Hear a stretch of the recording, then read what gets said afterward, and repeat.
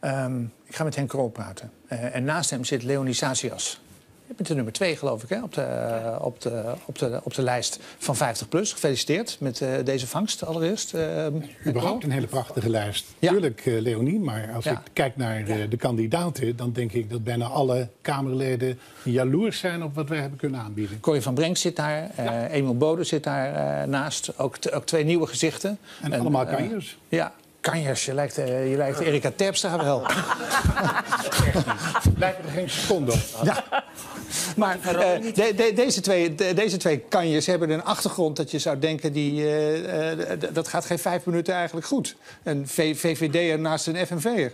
Hoe, hebben jullie al ruzie of valt het mee tot nu toe? Corrie? Nee, wij kunnen elkaar heel goed vinden in het eh, partijprogramma van Ja. 50PLUS. Ik ben maar één dag VVD'er geweest. Hoor. En dat was tijdens het kiezen? Tijdens het stemmen bedoel ik? Nee, ik werd lid van de VVD toen de partijbijeenkomst was als journalist. Dan mocht je alleen in als je lid werd. Ja. Maar VVD. VVD-stemmer toch denk ik wel met regelmaat, of niet? Met regelmaat, ja. Ja. Niet altijd. Ja, nee, oké. Wat is de belangrijkste reden om nu te kiezen voor 50PLUS voor u? Nou, eigenlijk de laatste maanden dat ik me ergerde, niet, niet aan de media hoor, dan moet je altijd voorzichtig zijn, aan economen, aan de algemene sfeer, alsof 50-plussers, binnenkort de helft van de bevolking, ja, bijna halve randdebielen zijn die het hartstikke goed hebben, die een enorm vermogen hebben opgebouwd. Ja. En ik verplaats me dan meer, 38 jaar journalist van de Telegraaf geweest, in de gewone 50-plusser die gezien heeft de afgelopen jaren. FUT-premie betaald, zijn FUT werd hem ontnomen. Ehm, AOW werd geïndividualiseerd. Ehm, zeven jaar mensen van 8,59 moeten nu vijf jaar doorwerken tot de 67. En de pensioenen over het algemeen zijn helemaal niet zo hoog. En dat is hard aangekomen. Ik denk dat die mensen niet helemaal begrijpen waarom ze daar slachtoffer van worden. Duidelijk. Ik kom straks ook nog even bij jou, Corrie. Eh, eerst even met eh, eh, Henk Rol. De, ehm, ja, we hebben een soort ideetje wat, eh, wat al lang en afgezaagd is en vaak gedaan is, maar we doen het toch. Dat is even aan het begin een paar ja-nee vragen. Zullen we dat meteen maar doen? Doe maar. Nee, dan moet je ja zeggen. Oh, dan moet je al meteen ja, zeggen. weet je, Ja, dat oh, is dat even- inleiding. Het was een oefenvraag. Ja. Ja. Ja. Goed. Feiten zijn prima, maar ze moeten niet mijn partijprogramma in de weg staan. Nee. Daarom zeggen wij ook dat het CBS bijvoorbeeld sjoemelt met levensverwachtingscijfers en inkomenscijfers op verzoek van de regering. Ja, dat zeggen wij. Ja. De AOW-leeftijd. De AOW-leeftijd kan zonder extra kosten makkelijk terug naar 65. Nee, kost altijd wat. Ja, nee. Nee. Ik zou met de PVV heel goed een regering kunnen vormen. Nee. Mijn partij scoort goed, ondanks mijzelf. Ja? Ik heb er best profijt van dat kiezers een slecht geheugen hebben. Nee. Ik ben weliswaar de lijsttrekker, maar als een journalist iets naast zegt, ben ik ook een behoorlijke duwer. Eh, nee, ik begrijp het grapje, maar dat is eh, absoluut niet zo. Ik weet ook wel dat de meeste ouderen het beter hebben dan veel jongeren, maar mijn partij heet nou eenmaal 50 plus. Eh, ja, maar daar wil ik graag uitleg bij geven. Goed, zullen we dat meteen doen? De laatste ding doen. De laatste. Ja, die partij heet 50 plus omdat die partij primair opkomt voor die doelgroep 50 plus.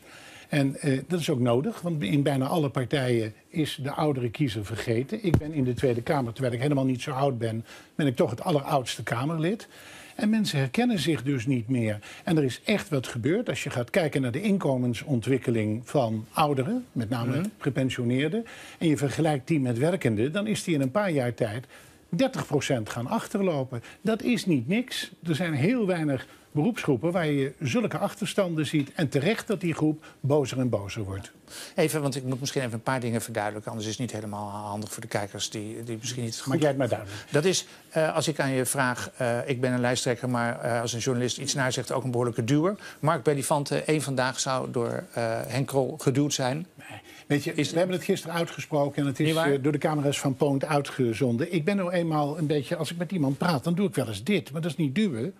Als ik met jou praat, dan, dan, dan wil ik best even... Auw! Ja, dat bedoel ik. Nou, je lijkt nu sprekend op elefanten. Oh ja? Ja, dat is een beetje wat er gebeurde. Goed. Helemaal goed. Je hebt het duidelijk gemaakt. Oké, dan, is dat, dan is dat wat het is. Goed. Eh, eh, dan hebben we het nog even over de betrouwbaarheidscijfers van de man Henk Krol zijn een stuk lager dan van de partij. Ja, die zijn gelukkig wel weer aan het stijgen. Dat heeft natuurlijk te maken, heb ik ook aan jou te danken. Ik ben, ben hier wel eens in het programma geweest. Ja. Dat je echt op allerlei manieren probeerde me af te slachten. En met dingen kwam die ik zelf nog niet eens wist. Ja, maar dat- Dat is lastig. Lastig. Daar krijg je een eh, naar beeld van. En Het lijkt mij ook lastig als, ik- als, als, als ik allerlei feiten presenteer die Nee, je dan zelf niet waren kent. het niet. Het waren dingen die jou waren Niet aangereikt. Kijk, dat met die armen over Ja, nee, elkaar al in zo'n het was soort gewoon niet waar. En dat is ook, nee, maar dat- schreef dat nou eens een keer eerlijk toe... dat er in het verleden dingen over mij gezegd zijn... met name in dit programma die absoluut niet waar waren. Eén voorbeeld. Eén voorbeeld. Ja.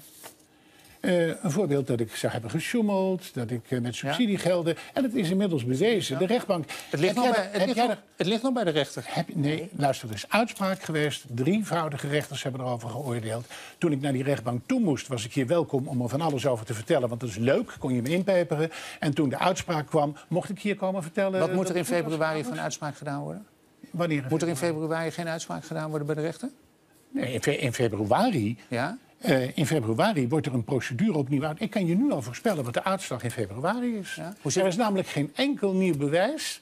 En men blijft maar doorgaan. Wat denk je wat er dan aan de hand Het is? gaat Het is over- een over- politiek proces. Over subsidies van iets van 2 ton, waarvan eh, niemand precies weet wie er nou verantwoordelijk voor is dat die zijn opgemaakt. Want, want ze zijn Die zoek. subsidies Ja? zijn tot de laatste cent, heb ik je toen gezegd... en dat blijf ik je zeggen, zijn tot de laatste cent goed besteed. Henk, je hoeft mij niet te overtuigen. Het gaat erom dat je andere mensen moet overtuigen die jou daarvan verdenken. Precies, en dat heb ik gedaan bij de vorige maar procedure. en de goed- rechtbank, goed de drievoudige rechtbank, Ja. heeft gezegd... er is niets aan de hand. Er is bovendien een onderzoek geweest door de FIOD en door de Rijksrecherche...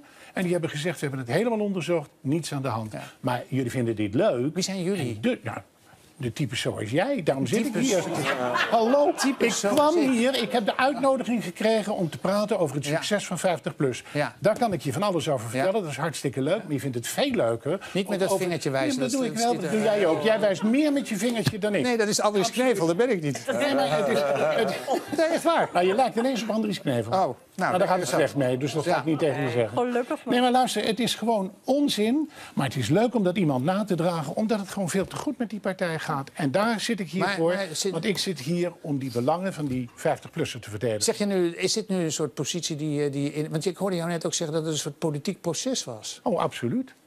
Iedere keer wanneer het goed gaat met 50PLUS, dan vinden een aantal mensen vinden het interessant om dat soort zaken naar voren te brengen. Ja, maar het is nou eenmaal zo dat je je verleden met je meesleurt. En, ben en, ik zeker, en zeker als dat enigszins bezoedeld is door... Nee, het is eh, niet door- bezoedeld. Het is bezoedeld door buitenstaanders, mensen die mij kennen. We hebben verdorie met die kleine gaykrant destijds... Ja. hebben we ervoor gezorgd dat in Nederland... het eerste land ter wereld het huwelijk werd opengesteld. ja, ja. Dat is geworden tot ons mooiste immateriële exportproduct. Maar er zijn Daar nog- ben ik apetrots op. Gefeliciteerd. Daar heeft de regering nauwelijks een cent aan bijgedragen. Gefeliciteerd. Alle projecten die wij moesten doen van de regering hebben we uitgevoerd. Gefeliciteerd. Ik heb vandaag zelfs kunnen zien Maar- dat tijdens eh, Ja? de ministerraad onze producten werden uitgedeeld omdat men er zo trots op was. Maar er zijn- Er is geen cent verkeerd besteed. Nee, maar er zijn nog steeds medewerkers die een pensioen gehad hebben... omdat jij je Nee, pensioenpremie niet betaald hebt. Allemaal zo'n flauwekul. Ga nou eens praten met die medewerkers. Hebben we gedaan. Die Ja. zeggen dat ook. We hebben een pensioen gehad van vier tot vijf jaar. Oh, ik had hier gewoon niet moeten gaan zitten, want het Want? is hier gewoon leuk om dit soort dingen na te dragen. Terwijl het inmiddels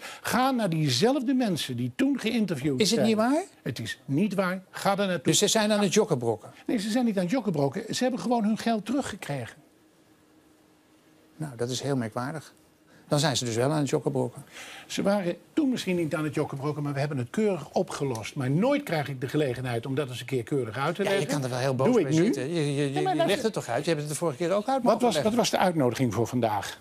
De uitnodiging voor vandaag was... Ja. kom eens vertellen over het succes van 50PLUS. Daarom zit ik hier aan tafel. dus- En waar begin je over? Over dingen uit het verleden waarvan inmiddels bewezen is, is dat het niet waar is. Ja, nee, de uitnodiging was overigens dat je hoog in de peilingen stond. Ja. Ik vraag aan jou, van, er zit een verschil tussen de, de betrouwbaarheid van de man... Ja, die is namelijk vrij laag... in betrekking Ja. tot de populariteit van de partij. precies. Tweede vraag was, hoe zou dat komen? Dat zou komen omdat er hele vervelende En toen zei over dat komt door jou. Nou, onder andere. en door hele grote voorpagina's die Ja. ik gelezen heb. Maar volgens mij heb ik er nu meer dan genoeg over gezegd. Ze zijn niet waar, die verhalen. En het leuke is, het dringt tot steeds meer mensen door... dat ze niet waar zijn, die verhalen. En dat is ook de reden waarom ik vrolijk verder ga. Nu is het zo dat de PVV, eh, de Socialistische Partij, eh 50PLUS... alle drie eh, ongeveer hetzelfde denken als het gaat over bijvoorbeeld de AOW-leeftijd. Ja. Dat die naar beneden moet, naar 65. Zeker. Eh, ook al kost dat geld. Eh, net vroeg ik van, eh, regeren met de PVV zeg je nee. Terwijl dat toch misschien al een aantrekkelijke optie Nou ja, zolang als de. PVV zulke ehm, discriminerende opmerkingen maakt over medeburgers. Ik vind als je gaat kijken naar ons eh, vreemdelingenbeleid, dan moet dat streng maar rechtvaardig zijn.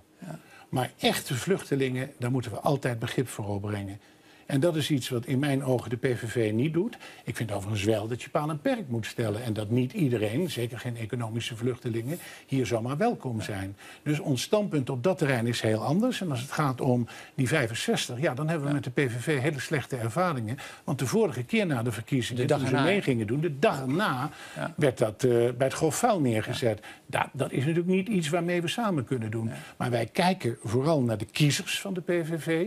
En die moet je niet negeren, want dat zijn mensen die misschien ook wel bij Plasman terecht kunnen komen. Want dat zijn mensen die of een proteststem uitbrengen of vinden dat ze in Den Haag onvoldoende vertegenwoordigd zijn. Ja, die, maar die 65, hè, als, ik vraag me altijd af, hoe lang wordt het dan 65? Is dat dan voor eeuwig?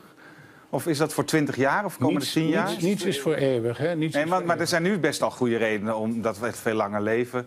En omdat er minder jongeren zijn per, per ouder. Hè. Dat ken die sommetje wel. Vroeger vier per één. En nu is, straks zijn er maar twee per één. heel graag maar, maar, maar, maar- nee, maar moet, nee, ik vraag me gewoon even, even mijn vraag. ja, wel, niet- drie vragen, Maar, moet je, nee, maar is, dat, is dat voor, Niets voor is voor eeuwig. Maar is dat voor 10 jaar of voor 20 jaar? Niets is voor eeuwig. Zolang als er zoveel jeugdwerkloosheid is, zou het heel goed zijn dat die leeftijd naar beneden gaat. Want Is het ook nieuwe gekoppeld aan de jeugdwerkloosheid dan? Het is niet gekoppeld, maar het heeft wel tot gevolg dat als er meer mensen eerder kunnen stoppen, kunnen er dus meer jongere mensen Nee, aan dat het is, werk. dat, is nog nooit, dat is nog nooit aangetoond dat dat werkt. Dat is echt Maar een, ook de echt een, ouderenwerkloosheid. een- een- ik bedoel, ja, als- maar het is niet zolang waar er geen banen zijn voor eh, die ouderen... en Nou, gaat hard omlaag hoor, de mensen eh, werkloosheid. vanaf 45 jaar vaak al eh, structureel werkloos zijn. Er werken nu meer ouderen dan ooit in de Nederlandse geschiedenis. Hè? Zullen we dat even, even Ja, vaststellen? Dus het gaat dus Even heel goed met de ouderen. andere En- sommetje. Hè. In 1970 was er op elke werkende was er 1,7 niet-werkende. 2020 zal dat zijn teruggebracht van één werkende met maar slechts 1,1 niet-werkende. Dus jij kijkt alleen naar de ouderen, maar ook jongeren worden natuurlijk op de een of andere manier onderhouden door werkenden. Ja. En aangezien we steeds meer vrouwen krijgen die gaan werken... en aangezien we steeds minder kinderen krijgen... is het dus helemaal niet zo ernstig als jij steeds voorspelt. Nou ja, ja goed. Dat, daar sommigen eh, zijn daar duidelijk maar. over dat het wel... Maar e- even toch nog terug naar de vraag, voor, eh, gewoon voor het begrip. Want eh, eh, nu wordt er eh, van uitgegaan dat die AOW-leeftijd eigenlijk elk jaar hè, eh, verder opschuift. Ja. We hebben een 67. enorme AOW En gehad dat dat zal mensen niet misschien ook nog wel kunnen voorbereiden. Precies. Vreselijk is En, dat. dat- en dat gat wordt, eh, zoals het eruit ziet, alleen maar groter. Wordt alleen maar groot. voorbereiden. Hè? We, we- we weten nu precies wat er gaat gebeuren in de toekomst. Maar er is een hele grote groep Ja, die zich dat- daar niet dat op heeft. Ja, maar daar is een regeling voor getroffen, toch? Daar is geld, Die regeling, klaar. die, die regeling is... Kijk, ik zit hier te praten met een heleboel mensen... die een waanzinnig goed inkomen hebben. Maar ik praat voor de mensen thuis in de huiskamer... die dat niet gespaard hebben en die dat niet kunnen opbrengen. En daar wil ik graag rekening mee houden. En daar praten wij hier... Binnen de grachtengordel van Amsterdam wel even iets te makkelijk over. Maar, Ja. maar Ja, ik weet niet als wat dat betekent. Het is prima dat je je richt op de mensen thuis. Dat, dat komt ook goed uit, want daar doen we dit allemaal voor. bedoel ik. Ehm, eh, maar misschien kun je ze ook vertellen hoe, hoe lang je er dan van uit mag gaan, als het aan 50 plus ligt, dat 65 65 blijft. Als mensen echt langer gezond ouder blijven... want dat Ja. is niet zo. Mensen worden wel ouder...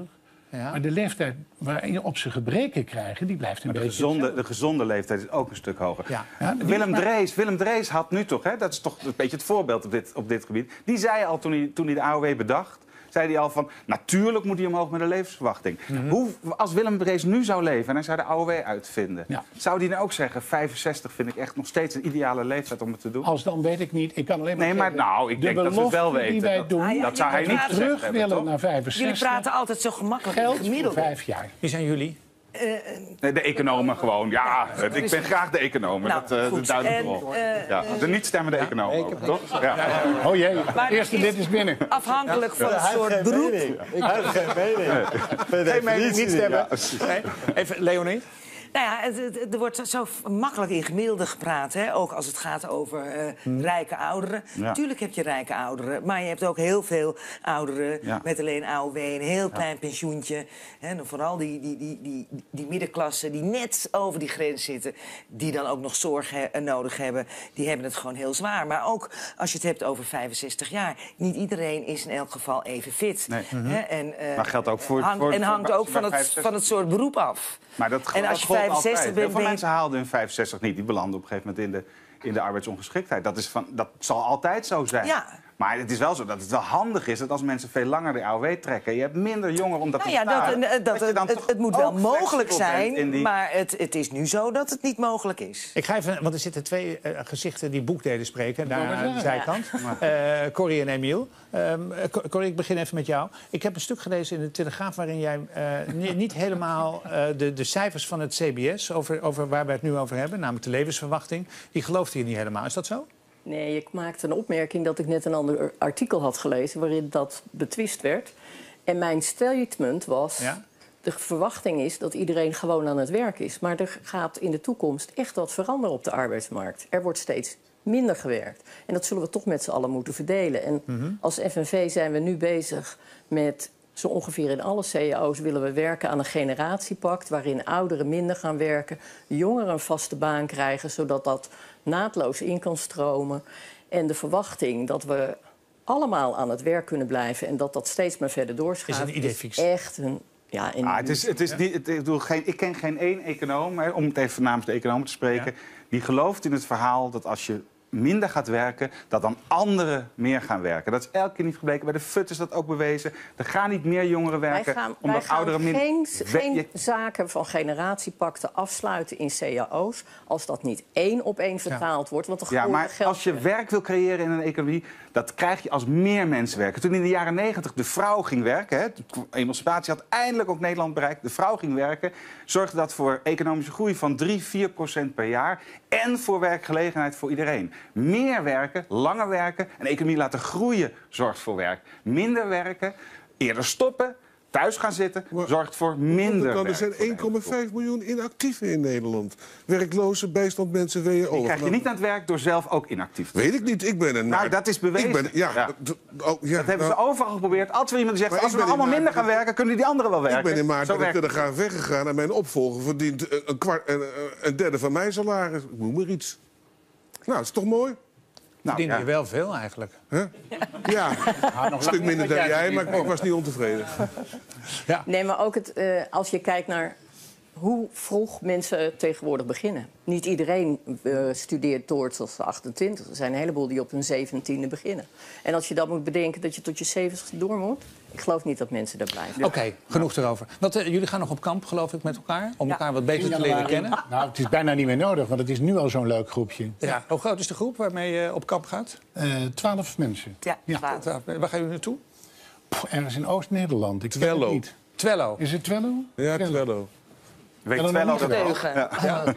Tussen Je waarschuwt Apeldoorn u en ik. Ja, Twello, let op uw zaak. Ja. Ja, Twello maakt zich daar nu voor op. ja dat, dat zal wel, ja.